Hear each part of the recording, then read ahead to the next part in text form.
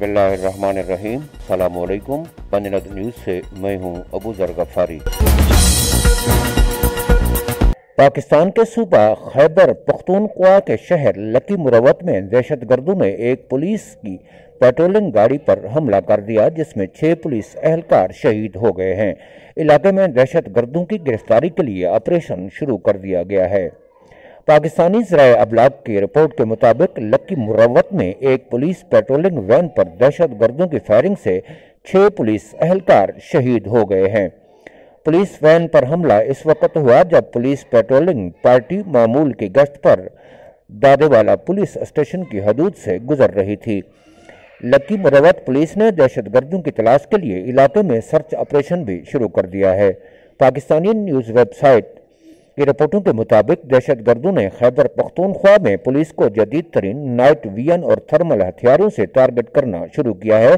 चंद दिन डेरा इसमाइल खां में जहाँ बहक होने वाले दो पुलिस अहलकारों को भी इस तरह के जदीद हथियारों से टारगेट करने के बाद दहशत गर्दों ने इनकी वीडियोज़ भी बनाई थी।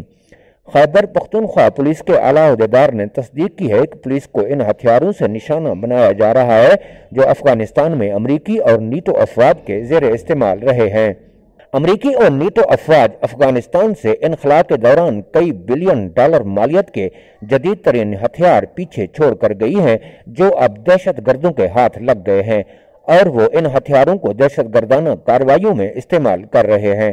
खैबर पख्तूनख्वा पुलिस के मुताबिक, अमरीकी और नीटो के जदीद हथियारों के दहशत गर्दों के हाथ लग जाने से दूर दूर दराजी और पहाड़ी इलाकों में इनका मुकाबला नहीं कर पा रही है। एक और पुलिस एहलकार के मुताबिक डेरा इसमाइल खान लक्की मुरवत बन्नू टांक जनूबी वजीरिस्तान के इलाके पुलिस के लिए बहुत खतरनाक इलाकों में तब्दील हो गए हैं। लकी मुरवत में पुलिस वैन पर दहशत गर्दाना हमले। एस, हमला ऐसे वक्त में हुआ है जब खैबर पख्तूनख्वा के मुख्तलिफ़ शहरों में अवाम ने दहशत गर्दों के मुख्तलिफ़ इलाकों में मौजूदगी के खिलाफ मुजाहरे भी किए हैं। वज़ीर अजम पाकिस्तान मियाँ मोहम्मद नवाज़ शहबाज शरीफ का कहना है कि दहशत गर्दी पाकिस्तान की अवलिन मसाइल में से एक है। हमारी मुसल्ह अफवाज और पुलिस ने बहादरी से दहशत गर्दी का मुकाबला किया है। उनका कहना था कि लक्की मुरवत में पुलिस वैन पर दहशत गर्दों के हमले की मजम्मत के लिए अल्फाज काफ़ी नहीं हैं। मेरी दुआएँ सोगवार खानदानों के साथ हैं। वज़ीर अजम पाकिस्तान मियाँ मोहम्मद शहबाज शरीफ ने बुध को खैबर पख्तूनख्वा के जिला लकी मुरवत में नामालूम अफराद के पुलिस हमले में छह एहलकारों के जाँ बहक होने पर अपने मजम्मती पैगाम में दहशत गर्दी को पाकिस्तान के अवलिन मसाइल में से एक करार दिया है। लकी मुरवत पुलिस के मुताबिक बुध की सुबह नामालूम मोटरसाइकिल सवारों की फायरिंग से चौक अब्बास पर मामूल की गश्त पर मामूल छह पुलिस एहलकार चल बसे, जबकि वाक़े की एफ़ आई आर फ़िलहाल दर्ज नहीं हुई। वज़ीर आज़म मियाँ मोहम्मद शहबाज शरीफ ने हमले की मजम्मत करते हुए अपने एक पैगाम में कहा कि हमारी मुसल्ह अफवाज और पुलिस ने बहादरी से दहशत गर्दी की लानत का मुकाबला किया है। लकी मुरवत में पुलिस वैन पर दहशत गर्दों के हमले की मजम्मत के लिए अल्फाज काफ़ी नहीं हैं। मेरी दुआएँ सोगवार ख़ानदानों के साथ हैं।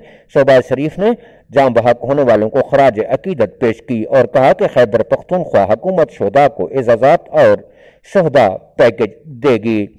इधर लक्की मुरवत के मकामी पुलिस स्टेशन के S H O Jamshed Ali Shah ने सहाफ़ियों से गुफ्तु करते हुए कहा कि ये वाक़ थाना डाडेवाला की हदूद में पुलिस मोबाइल गाड़ी के साथ पेश आया। तमाम अहलकार मोबाइल गाड़ी में सवार थे, जिनका ताल्लुक सूबे के मुख्तलिफ़ अजला से है। उन्होंने कहा कि फ़िलहाल ये वाज नहीं है कि हमला आवर कौन थे। अलबत् वो इतना बता सकते हैं कि लकी मुरवत में भी दहशत गर्दी ज़ोर पकड़ रही है। लकी मुरवत में पुलिस पर दहशत गर्दों के हमले की खबर मीडिया तक काफ़ी देर से पहुँची, क्योंकि जाय वकुआ का इलाका, इस जिला का एक दूर दराज मकाम है। मकामी जराए अबलाग तक ये खबर नौ बजे के बाद पहुँची। ये इलाका भी वाली की सरहद के साथ लगा हुआ है, जो कि एक गैर गंजान आबाद, यानी वेरान इलाका है, और अस्पताल से काफ़ी दूर है। दस बजे तक शोधा को अस्पताल भी मुंतकिल नहीं किया गया था। ये थी अब तक की अहम खबरें। इसी के साथ ही अबू गफारी को इजाज़त दीजिए। अपना ख्याल रखिएगा। अल्लाह हाफिज। अफवाज पाकिस्तान, जिंदाबाद। पाकिस्तान, पाइंदाबाद।